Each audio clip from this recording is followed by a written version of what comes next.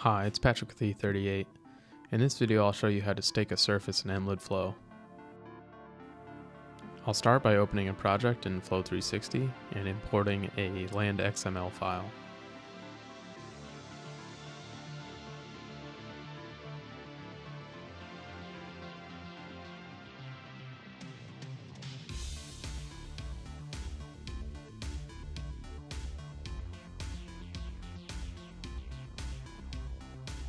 With our project open in Emlid Flow and our surface downloaded, we'll select the Objects menu and tap on our surface, then stake out to begin measuring our elevation relative to our design surface.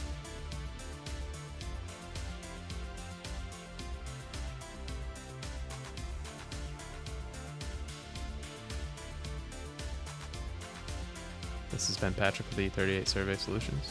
Thanks for watching.